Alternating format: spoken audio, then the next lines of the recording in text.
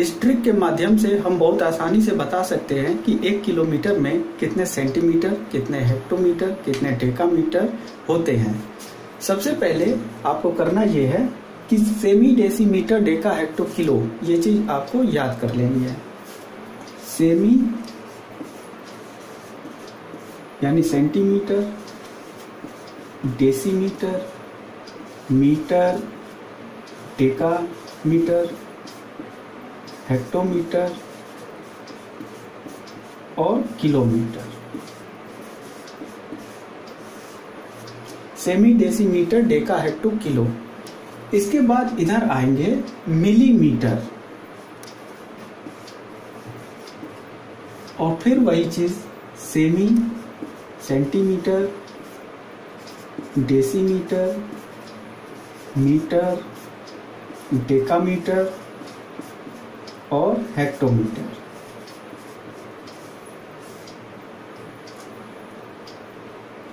यहाँ पर करना यह है कि ये दस दस हो जाएँगे और यहाँ एक एक हो जाएगा। यानी कि 10 मिलीमीटर का एक सेंटीमीटर होता है 10 सेंटीमीटर का एक डेसीमीटर दस हेक्टोमीटर का एक किलोमीटर होता है। अगर ये पूछ लिया जाए कि एक किलोमीटर में कितने मीटर होते हैं या कितने डेसीमीटर होते हैं तो ये बताना बहुत आसान है, बहुत इजी है।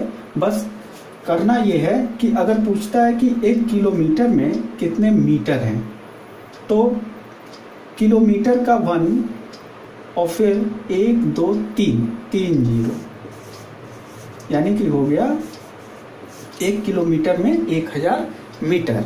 अगर पूछ लिया जाता है कि एक हेक्टोमीटर में कितने डेसीमीटर तो हेक्टोमीटर ये है, डेसीमीटर ये है, हेक्टोमीटर का हो गया वन और एक, दो, तीन तीन ज़ीरो। यानी कि हो गया एक हज़ार डेसीमीटर। इसी तरह से अगर ये पूछते हैं कि एक किलोमीटर में कितने सेंटीमीटर होते हैं तो किलोमीटर का हो गया वन और फिर ज़ीरो गिन लिया गिन लिया जाएगा। एक, दो, तीन, चार, पाँच। पाँच ज़ीरो।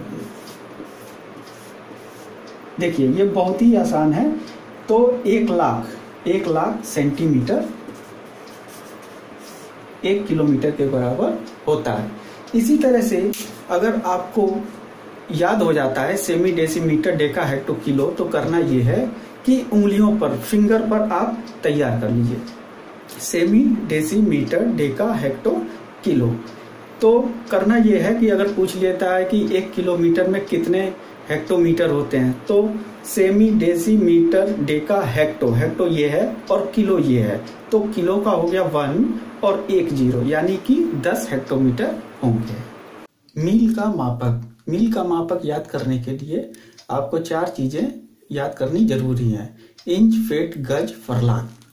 इंच फीट गज फरलांग इंच फीट गज फरलांग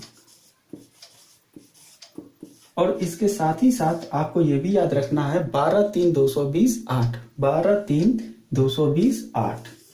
बारह तीन दो सौ बीस आठ। इधर आएँगे फेट गज फरलांग और मील। इधर हो जाएगा एक एक। तो 12 इंच में एक फीट, तीन फीट का एक गज 220 गज का एक फरलांग और आठ फरलांग का एक मील होता है। अगर एक मील या आठ फरलांग को हम कन्वर्ट करते हैं इंच में तो ये होते हैं तिरसठ हज़ार तीन सौ साठ इंच।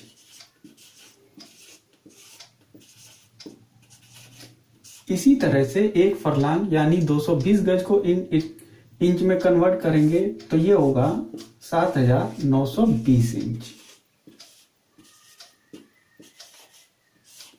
और एक गज, यानी तीन फीट होता है 36 इंच के बराबर।